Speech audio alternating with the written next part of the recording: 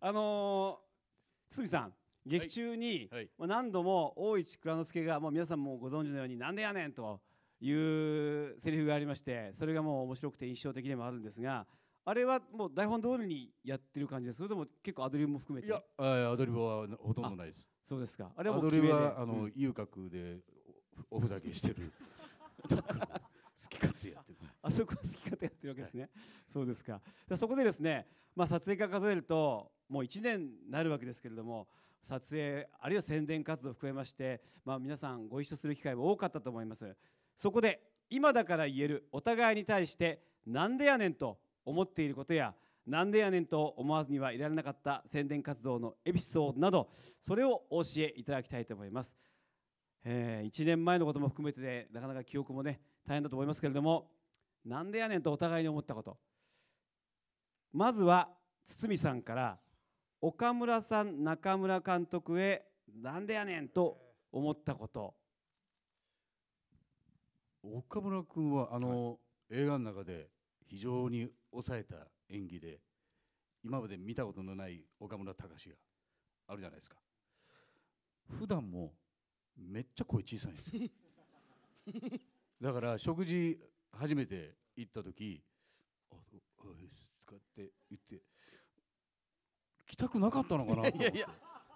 そんなこと。先輩やから一応年齢が上やから無理くりいかなあかんと思って来てくれてんのかなと思ったけど。まあ違ったみたいですけどね、はい。ただうん、でも本当声が小さいですよ普段。岡村さんそこのあたりは僕もそれ感じるんですよ。はい。声小さく小あさいなって、のー仕事の時はもちろん張るんですけれども、あの仕事が終わるとちょっとパッとこうスイッチ切ってしまうところがありまして、あの僕の中では聞こえてるであろうなぐらいの声で喋ってるんですけど皆さんもう噛んで「おーえー」とか言うてくれてるみたいであの 全然伝わってないみたいなんですね。だからそれは自分であんま自覚してなかったもん。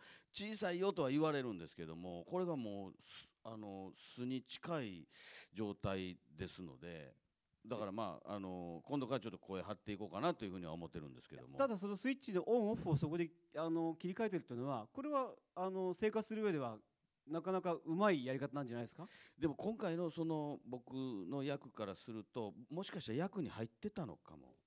わからない。それはないな 普段からちっちゃいやんか。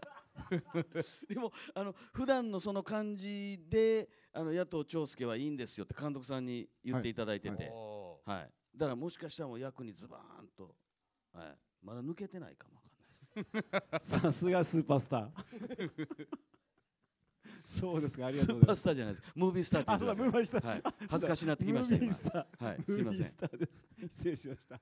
そうですか。あ堤さんはオンオフはどうですか、オンオフですか。うん、どうだろうな。あんまりないようなイメージもありますけどもね、うんでもやっぱりあの必ず家でもあの一人っきりの時間が欲しいんですよ。うん一人っきりでじっと別に何をすることもなかったりまあ本読んだりするとテレビ見たりもあの一切邪魔されない時間が一時最低1時間はうん欲しいタイプですね、ああんなにお子さん好きなのに？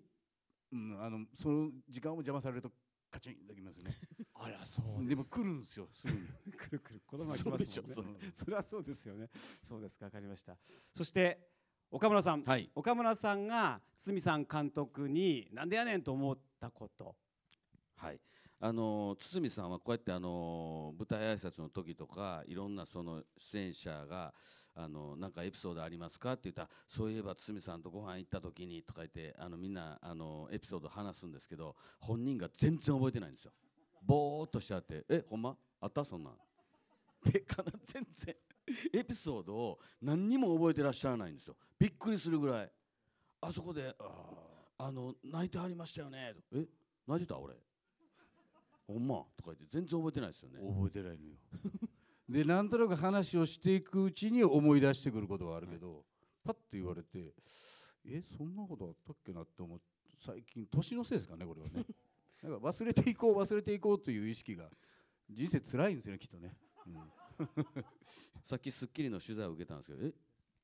なんかあったかな？覚えてないわ」って言って。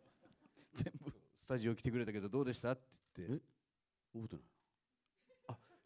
たのは覚えてるけど何やったっけ？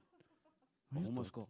知らん覚えてないわ。って言うてはりましたでも途中あたりからそれ慣れてきたんじゃないですか岡村さん？いやでもあのすごいみんなこう一緒にご飯食べてねあのすごいいいお話させてもらったとかこんなことあの言ってもらえたってみんなあの嬉しいんですよ。座長からそういうの言われると。でそこでこういう場で発言するじゃないですか。でもその言うた本人が「えそんなん言うた知らん。覚えてんわ。いや泣いてましたやん。え泣いてた？知らん泣いてへんわ知らん」ってこればっかりなんです。だからみんな「えっ!」ってなるんですよね。えいやなんかちょっとボケ始めてんのかもしれない、うん。まだ早いですよ、えーあっという間にお時間となってきました。最後に締めの言葉をお三方から参りましょう。まずは岡村さんお願いします。はい、えー本当に、えーお昼時にもかかわらずたくさんの人に、えー映画館に足を運んでいただきましてありがとうございます、えー本当にあの時代劇初めてやらさせていただきましたけども撮影の現場も楽しかったですし、えー実際自分の出てるこの決算中心蔵見て本当にあの面白かったです、えー何度か見ていただいたっていう方もおられるんでしょうかこの中に。あありがとうございます。これあのー、3回目が一番面白いみたいで3回見たら全部あのああこういうことだったんだっていうのがいろんなことが隠されてるとか隠されてないとかでございますのでぜひあの3回見ていただけたらなというふうに思います。そして今日見ていただいた方お友達の方知り合いの方に面白かったよとお声掛けください、えーとりあえず今日は本当にどうもありがとうございました。堤さんお願いします。